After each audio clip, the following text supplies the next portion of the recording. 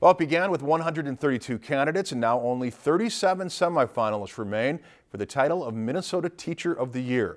Carla Johnson is a ninth grade English teacher at Brainerd High School and is in running for the honor. Last year, Johnson was announced as Brainerd's Teacher of the Year. A selection panel of 23 community leaders chose the semifinalists from across the state. In late March, the panel will review the candidates' portfolios before selecting 10 finalists from the group. The current Minnesota Teacher of the Year, Abdul Wright, will announce his successor at a banquet May 7th in Bloomington, Minnesota. If you've enjoyed this segment of Lakeland News, please consider making a tax-deductible contribution to Lakeland Public Television.